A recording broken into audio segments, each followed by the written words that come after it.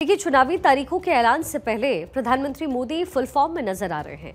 हर दिन किसी न किसी राज्य का दौरा करते हैं और सौगात देते हैं। आज भी प्रधानमंत्री ने देश को बड़ी सौगात दी। प्रधानमंत्री नरेंद्र मोदी ने आज गुरुग्राम से देश के 16 राज्यों को कुल 114 सड़क परियोजनाओं की सौगात दी। एक लाख करोड़ से अधिक की लागत की 114 परियोजना जनता को समर्पित की गई। इससे पहले पीएम ने रोड शो निकाला और द्वारका एक्सप्रेसवे का निरीक्षण किया।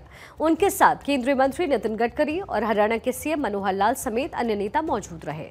पीएम मोदी ने गुरुग्राम में द्वारका एक्सप्रेसवे के 19 किलोमीटर लंबे हरियाणा सेक्शन को राष्ट्र के लिए समर्पित किया। इससे द्वारका एक्सप्रेसवे से दिल्ली और गुरुग्राम के बीच में जो यातायात है, उसको बेहतर बनाने और भीड़ भाड़ को कम करने में मदद मिलेगी। पहले आपको इस एक्सप्रेसवे की खासियत बता देते हैं, क्या कुछ इसकी खासियत है। 9000 करोड़ की लागत से ये इसे बनाया जा रहा है। देश का पहला आठ लेन एलिवेटेड एक्सप्रेसवे ये है। एक्सप्रेसवे की कुल लंबाई है उनतीस दशमलव पाँच किलोमीटर। प्रधानमंत्री ने हरियाणा के 19 किलोमीटर के हिस्से को जनता को समर्पित किया है। दिल्ली में इसका दायरा 10.1 किलोमीटर तक फैला रहेगा जिसका काम जून तक पूरा होने की संभावनाएँ हैं। सिंगल पिलर पर बना देश का पहला ये एक्सप्रेसवे है। हरियाणा में एक्सप्रेसवे का सिंगल पिलर 34 मीटर तक चौड़ा बनाया गया है। आठ लेन वाले द्वारका एक्सप्रेसवे का हरियाणा सेक्शन बनकर के तैयार हो चुका है। हरियाणा के 19 किलोमीटर लंबे सेक्शन पर 4,100 करोड़ का खर्च आया है। एक्सप्रेसवे आईजीआई और गुरुग्राम बाईपास को जोड़ने का काम करेगा। दिल्ली और गुरुग्राम की दूरी महज 25 मिनट में पूरी हो जाएगी। एक्सप्रेसवे गुरुग्राम के सेक्टर अट्ठासी, तिरासी, चौरासी, निन्यानवे, एक को द्वारका सेक्टर 21 के साथ जोड़ देगा। एक्सप्रेसवे से गुरुग्राम के लाखों लोगों को बहुत बड़ा फ़ायदा होगा। 20 से अधिक कॉलोनीज सीधा एक्सप्रेसवे से जुड़ेंगी। 10 से अधिक गाँव भी एक्सप्रेसवे के पास है। दिल्ली से जयपुर, हरियाणा, पंजाब और उत्तर प्रदेश की कनेक्टिविटी और बेहतर होगी। एक्सप्रेसवे न केवल लोगों को जाम की समस्या से निजात दिलाएगा, बल्कि दिल्ली से गुड़गांव की दूरी भी एक तरह से कम कर देगा। पहले दिल्ली से मानेसर जाने में एक घंटा लग जाता था। और अगर जाम लगा तो फिर दो घंटे का ट्रैवल टाइम हो जाता था, जबकि अब केवल 20 मिनट में ही आप पहुँच पाएँगे। मतलब समय की बचत। एक्सप्रेसवे के उद्घाटन के दौरान प्रधानमंत्री मोदी ने कहा कि आज जहाँ द्वारका एक्सप्रेसवे का निर्माण हुआ है, वो एक समय था। एक शाम ढलने के बाद लोग इधर आने से भी कतराते थे। टैक्सी ड्राइवर भी मना कर देते थे कि इधर नहीं जाना है। इस पूरे इलाके को असुरक्षित समझा जाता था। लेकिन आज कई बड़ी कंपनियाँ यहाँ आकर के अपने प्रोजेक्ट्स लगा रही हैं। ये इलाका एनसीआर के सबसे तेज़ी से विकसित हो रहे इलाकों में शामिल हो रहा है। आज कई बड़ी कंपनियाँ यहाँ आकर अपने प्रोजेक्ट्स लगा रही हैं। ये इलाका एनसीआर के सबसे तेज़ी से विकसित हो रहे इलाकों में शामिल हो रहा है।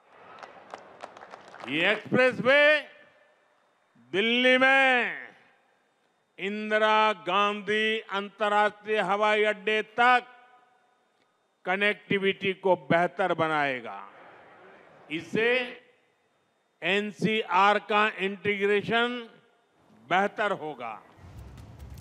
इसके अलावा भी प्रधानमंत्री मोदी ने देश को बहुत सी सौगातें दी। उत्तर प्रदेश में लगभग 4,600 करोड़ रुपए की लागत से विकसित लखनऊ रिंग रोड के तीन पैकेज की भी घोषणा की।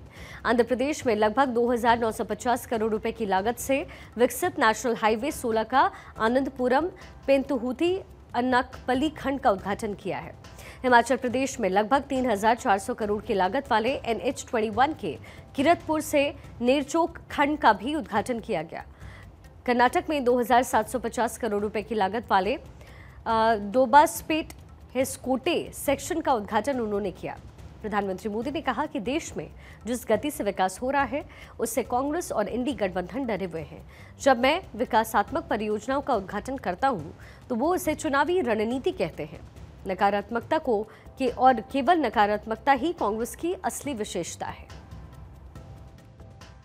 देश में लाखों करोड़ रुपए के इन विकास कार्यों से सबसे ज़्यादा दिक्कत अगर किसी को है तो वो है कांग्रेस और उसके गमंडिया गठबंधन।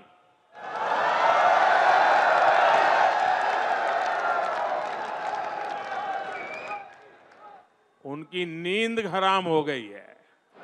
इतने सारे विकास के काम, और वो एक की बात कर रहे हैं तो मोदी दस और कर देता है। उनको समझ ही नहीं आ रहा है, क्या इतनी तेज़ी से काम भी हो सकते हैं क्या? प्रधानमंत्री मोदी ने कहा कि 2024 में ही इतने कम समय में अब तक 10 लाख करोड़ रुपए की परियोजनाओं का या तो शिलान्यास किया है या फिर लोकार्पण किया है। मैं पूर्व से पश्चिम, उत्तर से दक्षिण सभी राज्यों को करोड़ों नागरिकों को इतनी सारी विकास योजनाओं के लिए बधाई देता हूँ। समस्याओं को संभावनाओं में बदल देना ये मोदी की गारंटी है। मोदी, चुनाव की वजह से लाखों करोड़ रुपयों के काम कर रहा है। दस वर्षों में देश इतना बदल गया, लेकिन कांग्रेस और उसके दोस्तों का चश्मा नहीं बदला है। इनके चश्मे का नंबर अभी भी वही है। All negative all negative negativity और केवल नेगेटिविटी यही कांग्रेस और इंडी गठबंधन वालों का चरित्र बन गया है। वहीं प्रधानमंत्री मोदी ने विपक्ष पर निशाना साधते हुए कहा कि ये तो वो लोग हैं जो केवल चुनावी सरकार चलाते थे। इन्होंने 2006 में 1000 करोड़ किलोमीटर का एक्सप्रेसवे बनाने की घोषणा की, लेकिन वो घोंसले में घुस गए। लेकिन इसको हमने 2018 में पूरा किया। प्रधानमंत्री ने कहा कि मेरा सपना है कि दो हज़ार सैंतालीस तक देश विकसित होना चाहिए। उन्होंने कहा कि कांग्रेस ने 60 दशक में जो गड्ढे खोदे थे, वो तेज़ी से भरे जा रहे हैं। कांग्रेस ने सात दशक तक जो गड्ढे खोदे थे, वो अब तेज़ी से भरे जा रहे हैं।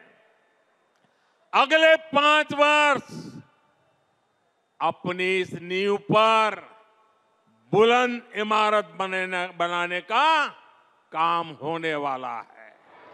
और ये मोदी की गारंटी है। तो मोदी सरकार हैट्रिक लगाने की तैयारी में है और इसके लिए लगातार स्ट्रैटेजीज बनाकर के बीजेपी आगे बढ़ रही है। यही वजह है कि PM Modi east, west, north और साउथ, यानी देश के हर कोने का दौरा कर रहे हैं और सौगातों की बौछार तेज़ी से करते जा रहे हैं।